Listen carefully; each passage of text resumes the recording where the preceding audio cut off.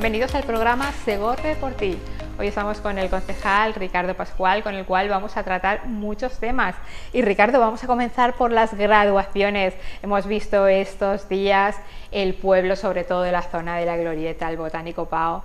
cómo disfrutaban ya los graduados elegantemente vestidos, ellos, ellas, los familiares, porque es un momento, es un antes y un después en su vida educativa y hay que celebrarlo. Me imagino que habrás disfrutado con ellos igualmente. Así es, nosotros, gracias a todos los equipos directivos de los institutos y demás, la verdad que nos invitan a todos y consideramos que es un acto muy importante para ellos y siempre participamos, o la alcaldesa o yo, los dos, la mayoría de veces, y nos gusta compartir con ellos porque es como un paso en tu vida, la verdad es muy importante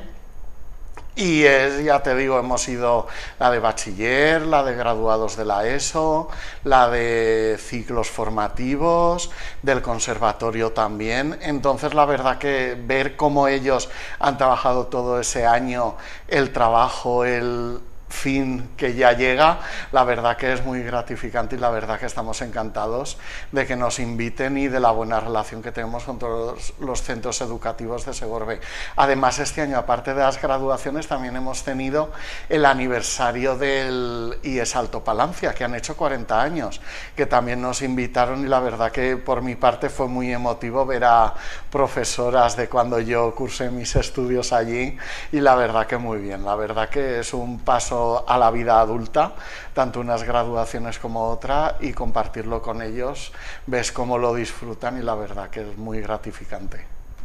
Vamos a ir hablando de exposiciones, algunas que ya están inauguradas, otras que se van a inaugurar, pero vamos a comenzar con el taller de fotografía del centro ocupacional, unos auténticos profesionales. Así es, el otro día tuve el placer de inaugurar la exposición que está en el centro cultural y la verdad que fue una pasada lo que han aprendido, lo que han disfrutado, que al final es lo importante, aprender disfrutando y la verdad que hay allí una pequeña muestra de todo lo que han hecho este curso y muy, la verdad que fue muy chulo. Se lo han currado mucho. Y otro de los talleres que se presenta mañana es el de las Wonder Woman. ¿Quiénes son las Wonder Woman? Pues esas mujeres que han luchado, están luchando y algunas de ellas comenzarán a luchar contra el cáncer, pero luchan como lo que son, como unas Wonder Woman. Así es, la verdad que es una campaña que hemos movido desde Igualdad y la verdad que yo creo que el resultado va a ser muy bonito. Aún no lo he visto completo, la verdad, pero cómo se ha implicado la asociación de ASAC que lo hemos hecho con ellos, con ellas. La verdad, todo el trabajo, lo que supone para ellas el revivir todo ese proceso, porque hay de todo, a lo mejor ha habido personas que lo han vivido como enfermeras, como acompañante, otros que lo han vivido en carne propia, entonces ver todo eso para hacer el cuadro, la pintura que les ha hecho Zarba, la verdad que se ha reunido con ellas, ha mantenido entrevistas con todas ellas, a ver, eh, ha sido un proceso que yo entiendo que a ellas es complicado volver a rememorar o recordar toda esa situación, pero que en el fondo yo creo que lo que Zarba persigue es cómo han luchado, eh, por eso son Wonder Woman, es el cómo han salido de eso y han salido más fuertes y han tirado para adelante y la verdad que son un ejemplo todas ellas. Y yo creo que precisamente por eso esta exposición va a ser como muy o sea, eso se va a percibir, porque yo en el par de obras que he visto veo que Zarba todo lo que le han transmitido, él lo ha plasmado de una manera u otra en cada cuadro. Entonces la verdad que está, eh, yo creo que eso va a ser muy bonito. Inauguración mañana, viernes, hasta el viernes siguiente, el viernes 28, tiene una semanita para que no se la pierdan. Y si antes me hablabas el aniversario del IES Alto Palancia, 40 años, también estamos de aniversario, pero esta vez en el CRIS.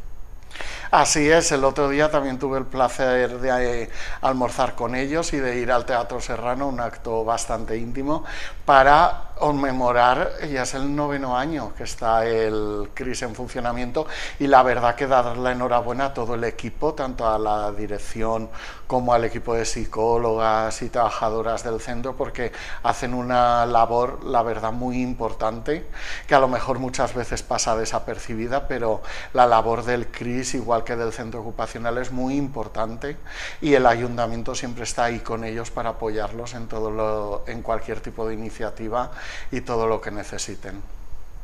También vamos a hablar sobre la campaña de limpieza diaria. Es un tema que insistimos recurrentemente en todos los programas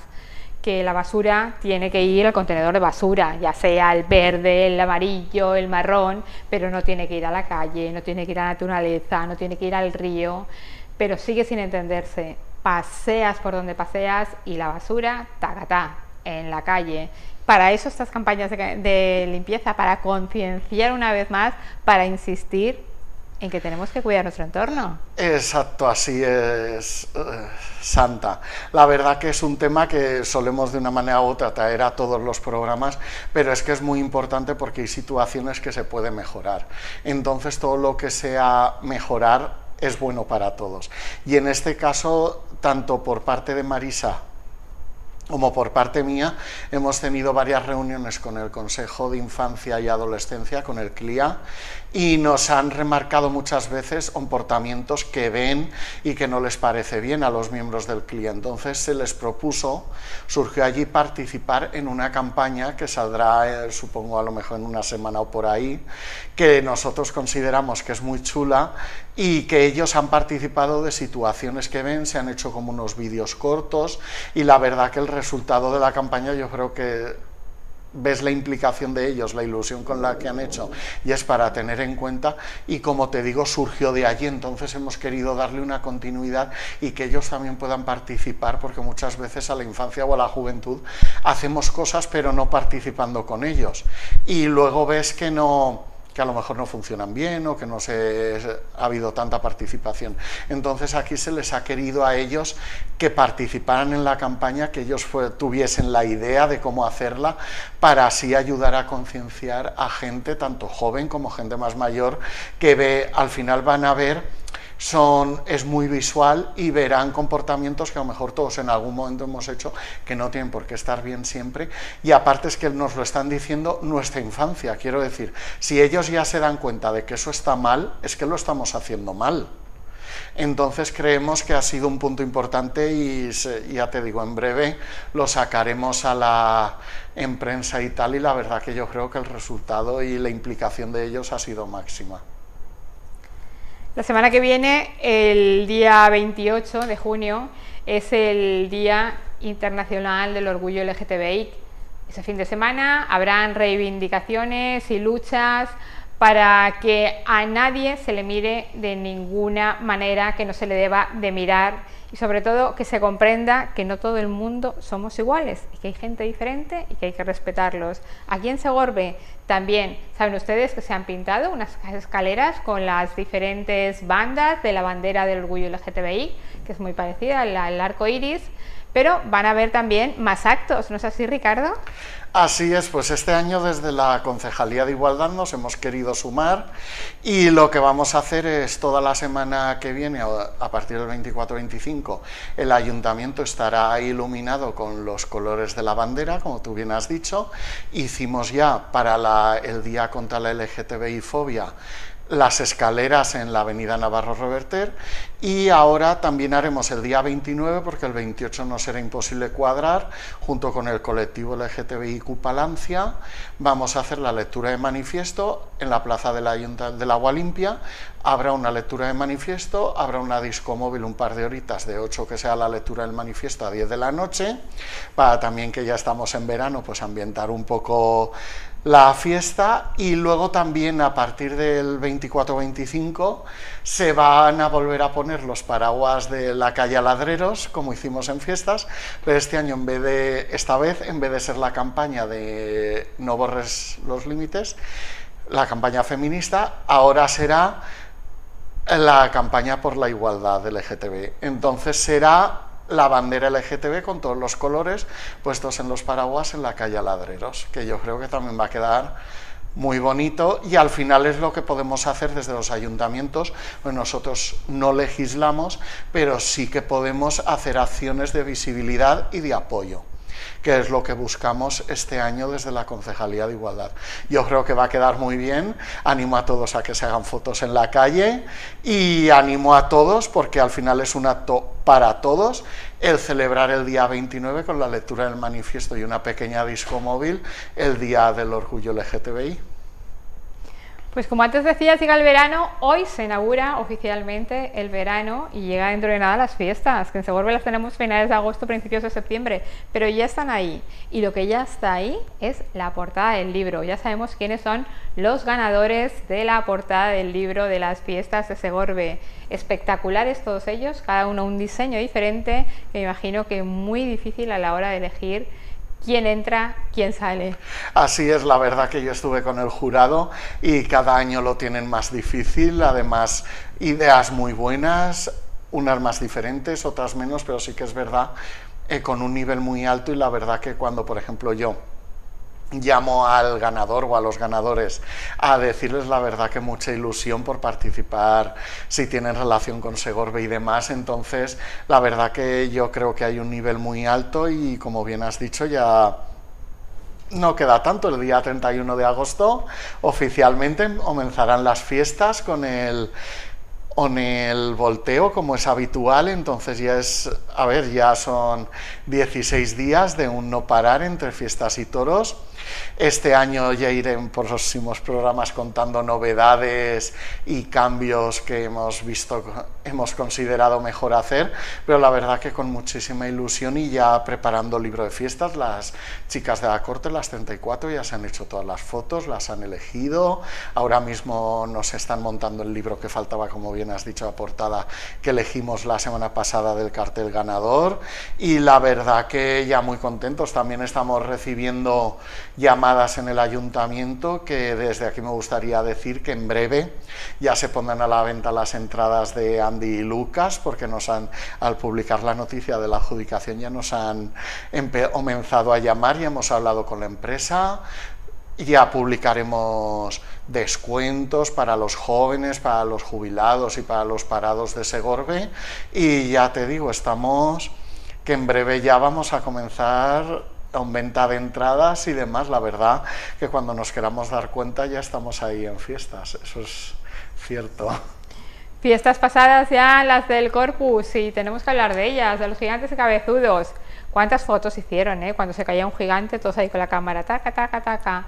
Madre mía, si yo llevo un gigante está rodando siempre. Entonces, cuando las personas que lo llevan pues son realmente nuevos en, este empeño, es muy difícil, pesan muchos. Eh, hay llevadores gigantes que llevan toda la vida y dicen, no te imaginas lo que pesan. Así que, perdonado todo, se arreglan, que para eso tenemos un gran entendido en cómo arreglar esas caras de gigantes y cabezudos, como es Jesús Zafón, y los van a dejar como nuevo. Y al año que viene, por lo mismo, más gigantes y más cabezudos. Hombre, por supuesto, es una tradición muy bonita de Segorbe y desde aquí a ver los daños fueron en la, la China, tiene un lado de la cara que Jesús ya lo está reparando y ya puesto que se ha habido de repararlo, como bien has dicho, por la caída que hubo, hemos llevado también el rey a reparar, que era un poco una ceja, y hemos aprovechado también de así en estos meses de verano, como bien has dicho, Jesús lo puede arreglar, de aquí a fiestas, eh, cabezudos que me gustaría volver a llamar, que todos nos lo hemos pasado muy bien en los cabezudos, pero hay que ser un mínimo de cívicos. Y hay veces que la, gente se, la gente joven se pasa y, por ejemplo, le hemos dado también a Jesús varias cabezas de los cabezudos porque estaban bastante destrozadas de los golpes que reciben. Entonces sí que me gustaría llamar la atención que todos nos lo queremos pasar bien, nos lo podemos pasar bien, pero que son unos materiales y unos que requieren un mantenimiento y un cuidado. Y lo que no podemos hacer una cosa es pasarlo bien y otra cosa ya es comportamientos un poco más fuertes, que desde ahí me gustaría decir que todos hemos pasado por ahí, nos lo hemos pasado bien, pero eh, por favor que tengan un poco de miramiento porque son, a ver, al final son unas cabezas que son históricas y, eh, son antiguas, entonces se estropean, hay que reparar, sí, pero que los jóvenes, por favor, yo les pediría que tengan un poco de conocimiento. Hace muchos años también hubo una polémica muy grande porque se estropeaban. Yo no quiero entrar en eso, pero eh, por favor, que al final son nuestros. Todos tenemos que cuidar y conservar nuestras cosas. Entonces, había cabezas, por ejemplo, de los cabezudos que estaban bastante estropeadas y también se las hemos dado a Jesús para que las arregle. Bueno, pues eso tiene que cambiar. Cuando yo era niña había una ley no escrita en que tú no podías tocar a los cabezudos. Ellos sí te podían dar con el corcho, tú no. Tiene que volver esa ley no escrita, pues si hay que escribirla, se escribe. No se pueden tocar a los cabezudos. En eso consiste el juego. Hay que correr, hay que divertirse, hay que darles quites, lo que haga falta, pero no golpearles. A ver si al año que viene todos tomamos conciencia de ello. Vamos a seguir hablando de fiestas, de las de San Cristóbal, que también están aquí al lado ya. Exacto, las tenemos a la vuelta de la esquina. La verdad que es mi primer año como concejal de participación ciudadana y la verdad que muy bien, en permanente contacto con los vecinos, por ejemplo, para el corpus Colaboramos con los vecinos para hacer el tapiz de la Plaza de Almudín, colaboramos con ellos y, por ejemplo, en este caso, pues colaboramos con los vecinos de acá de San Cristóbal para que una tradición como son sus fiestas, pues que siga, se siga realizando con total normalidad, con actividades infantiles y demás. Y la verdad que muy contento de la participación de la gente y que el ayuntamiento, como siempre, estamos ahí para ayudarles. Igual que con las de San Cristóbal, también estamos ya preparando las de la Plaza del Ángel que también tocan al mes siguiente. Así que estamos en un verano muy entretenido, como ya viene dicho, también estoy ya pensando en los días que se va a fijar la venta de entradas de los espectáculos de fiestas, así que esto ya empezamos que cuando nos queramos dar cuenta el verano ya se ha pasado. Y seguimos con otro festival, el de jazz, que también da, es, como también un punto del pistoletazo de salida a las fiestas. Así es, la verdad que el Festival de Jazz ya es el número 12 que se realiza por parte del Departamento de Cultura y como bien dices tenemos el viernes 28 de junio pasacalle como todos los años y luego a las 11 actuación de Jordi Farrés en el Teatro Serrano. Luego el sábado 29 de junio a las 11 tenemos la, a nuestra Viva del Alto Palancia en el Botánico Pau y el domingo 30 en la Plaza de la Agua Limpia otra actuación de jazz también, la verdad que un festival muy completo que yo creo que está completamente afianzado en Segorbe y que hay gente que esperamos con ganas para poder participar en el y ver con que nos sorprenden cada año, porque la verdad que los, los miembros, los que participan se lo curran, yo no lo pensaba, a ver, no lo había tocado como hasta ahora acompañando a Marisa y demás, y la verdad que, que lo viven y un esfuerzo muy grande y por mi parte darles la enhorabuena por hacer que ya sea la 12 edición de este festival. Pues ya hemos hablado un poquito de todo, también hemos hecho un repaso a las actividades culturales y festivas que van a haber estos últimos días, porque estamos en junio y ya la agenda comienza a llenarse. Julio y agosto va a ser ya el acabose, un explote. Pero por eso que la gente aproveche ahora, que algunos aún no se han ido a su lugar de veraneo, aún estamos en la primera residencia y que disfruten durante todos los fines de semana, incluso fuera de ella, de las distintas actividades que prepara el Ayuntamiento de Segorbe. Así es, la verdad que muchas veces no pensamos toda la actividad cultural y de asociaciones que hay durante todo el año. Y yo, como siempre digo, animo a todos a participar y, por supuesto, antes de fiestas, pues ya vendré otra vez para ya concretar cosas. Pues muchas gracias Ricardo y te esperamos en un nuevo programa para, como tú acabas de comentar, nos adelantes un poquito más y nos des una pincelada de cómo van a transcurrir las fiestas de la ciudad de Segorbe. Gracias. A ti, gracias.